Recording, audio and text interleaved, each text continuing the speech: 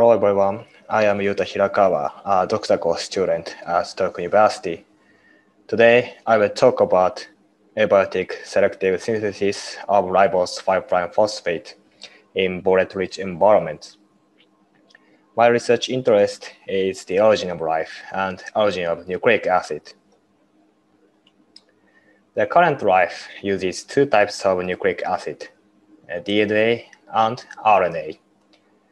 DNA holds gene information, RNA catalyzes the reaction to make protein, and protein works as biocatalyst in our body. RNA can store genetic information and catalyze the reaction.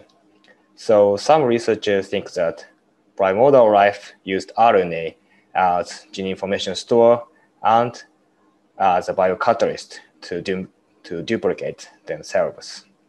This thought is called RNA world hypothesis. Based on this hypothesis, uh, RNA formation is one of the essential steps for the origin of life. RNA is a polymer of nucleotides. So we need to make nucleotide first. The nucleotide uh, is consists of three components, ribose, nucleobase, and phosphate. The component of nucleotide probably existed on the areas, particularly in evaporitic environments ribose and nucleobase would have formed by condensation reactions of small molecules, such as formaldehyde and formamide. Some researchers also found these molecules in carbonaceous chondrite. Phosphate would have contained in phosphate minerals, such as apatite. And evaporation could condense these molecules. So the borate-rich evaporitic environments could have accumulated the building blocks of nucleotide. The nucleotide formation from these components is also investigated. Previous research reported that nucleotide could have formed via nucleoside formation and following phosphorylation. The phosphorylation reaction goes well using urea as a catalyst. The nucleoside, uh, nucleoside synthesis is chemically possible, but the plausibility on the prebiotic Earth is questionable. So the nucleoside, uh, nucleotide formation has not completely succeeded. Nucleoside synthesis needs step-by-step -step reactions of small molecules. It is unclear how geological events made such complicated reactions possible. On the other hand, phosphorylation is a one-pot reaction. We do not need a complicated procedure. Uh, these results mean that phosphorylation is a simpler reaction than nucleoside formation. It is difficult to assume that a complicated reaction occurred before a simple reaction. So phosphorylation should have, uh, should have occurred before the nucleoside formation on the prebiotic Earth. In addition, traditional pathways are different from uh, biosynthesis. Current life makes nucleotide uh, via ribose phosphate formation and following nucleobase addition or nucleobase construction. However, the traditional pathway makes nucleotide, for, uh, nucleotide from nucleoside formation and its phosphorylation. So we thought that ribose phosphorylation before the nucleoside formation is more reasonable for the nucleotide formation. This bioanalogous pathway has partially succeeded. This previous research uh, reported that nucleotide formation from sugar phosphate using small reactive molecules and UV light. However, uh, no one reported the ribose 5' phosphate formation under the prebiotically plausible condition. So this alternative pathway has not got supported well. We think that there are two difficulties to make a ribose 5' phosphate, low stability and low selectivity. ribose is very unstable in heat condition and quickly turn to brown tar. Even if ribose can react with, uh, with phosphate, ribose uh, 1' prime phosphate selectively forms and ribose five prime phosphate does not form. To solve these problems, we focused on borate. Borate have existed in the evaporitic environment on the areas. Borate can stabilize sugar and uh, ribose preferentially forms among all other pentoses. So the borate-rich environment borate-rich environment can contribute to the accumulation of ribose.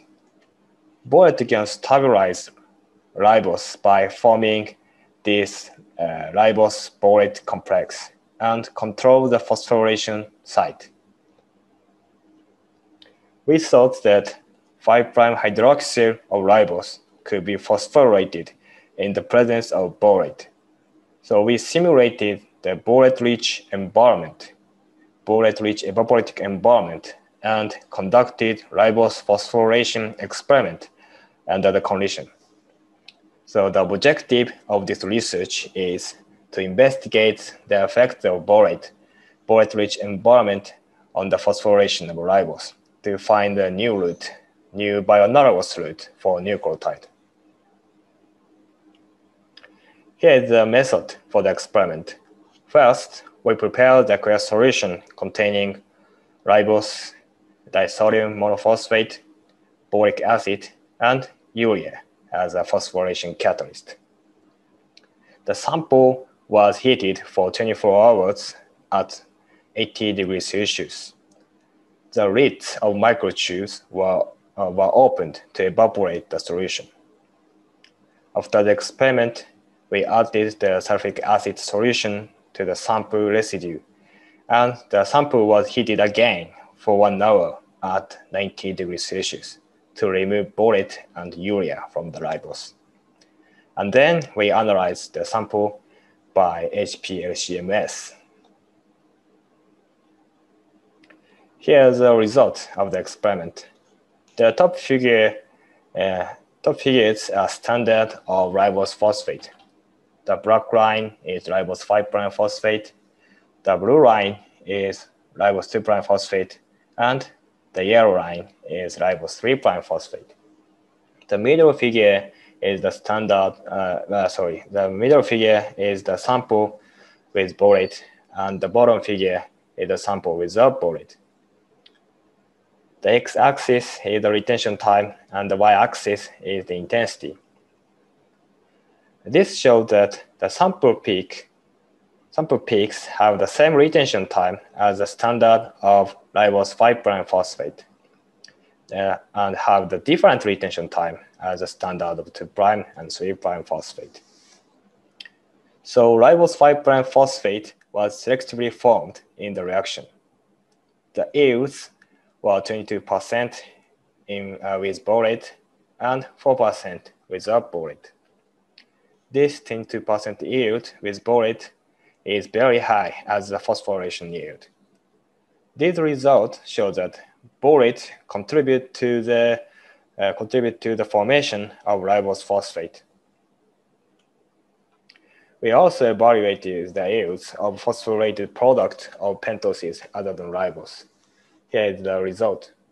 The upper left figure is the is ribose experiment.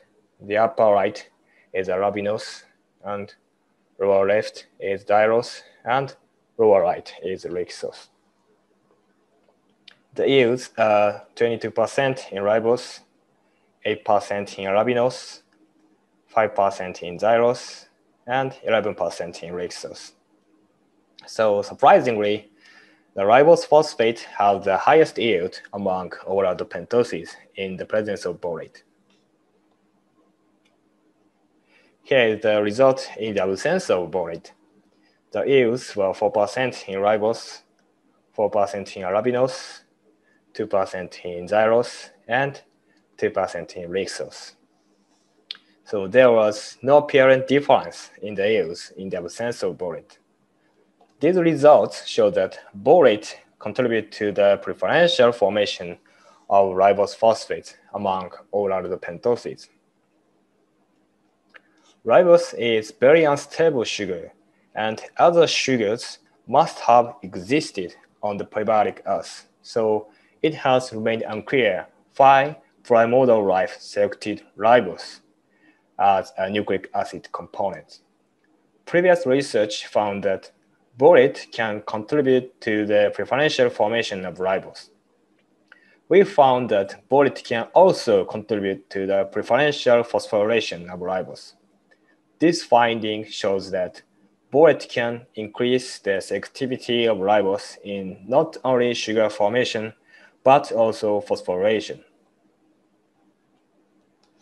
Ribose 5' phosphate could be preferentially formed in the presence of borate. These findings open the new bioanalogous route for nucleotide. In this route, phosphorylation occurred first and nucleobase combined later. This route is closer to biosynthesis in contrast to the traditional routes, nucleoside formation and phosphorylation rate. In this study, we found that a borate-rich environment could contribute to the preferential formation of ribose 5' phosphate. A further chemical evolution for RNA will have occurred in the same environment.